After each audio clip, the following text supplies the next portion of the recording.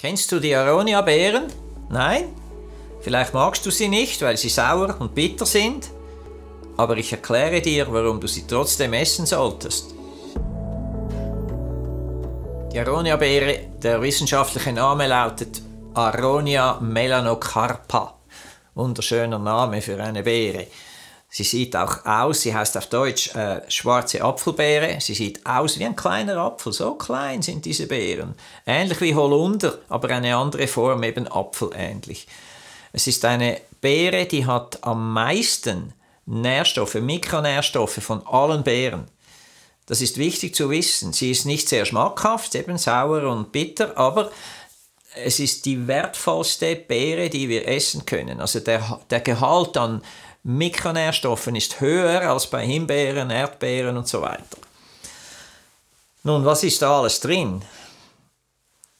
Wir haben sämtliche Vitamine drin, außer Vitamin D und B12. Diese beiden sind nicht drin, weil Vitamin D ist praktisch nirgendwo in einer Pflanze. Und B12 ist ja vor allem in, im Fleisch enthalten. Aber sonst alle Vitamine drin, sehr viele Mineralstoffe und am höchsten ist der Gehalt an Polyphenolen. Polyphenole sind äh, sekundäre Pflanzenstoffe, die gesundheitsfördernde Wirkungen haben. Die erste Wirkung von Aronia-Beeren ist antioxidativ. Das heißt, sie hemmen die freien Radikale. Freie Radikale entstehen durch die Atmung, das heißt vor allem dann, wenn wir Sport treiben, durch Rauchen, durch Alkohol, durch Medikamente, durch Strahlung und so weiter. Wir sind diesen freien Radikalen ausgesetzt und die haben schädliche Wirkungen, die verursachen viele Krankheiten. Und die Polyphenole im Aronia-Beere drin, die hemmen diese freien Radikale. Es ist ganz wichtig, also die, die Beere selbst, der gesamte Inhalt dieser Beere hat in diesem Sinn eine breite gesundheitliche Wirkung. Dann haben wir eine entzündungshemmende Wirkung. Nehmen wir an, du hast einen, einen Schulterschmerz. Das immer wieder, wenn du das bewegst, schmerzt es hier. Das sind entzündete Sehnenansätze äh, oder am Fersen, ein Fersensporn, eine Achillessehnenentzündung und so weiter. Solche schmerzhaften, entzündlichen Zustände kannst du verbessern mit genügend Aronia-Beeren. Und dann vielleicht die letzte Wirkung, es ist auch antiallergisch. Vielleicht leidest du an Heuschnupfen oder Asthma. Versuche mal mit Aronia Beeren das zu behandeln. Es braucht höhere Dosen, selbstverständlich, aber die, die Allergien bilden sich zurück, sie werden schwächer, ähnlich wie durch Medikamente.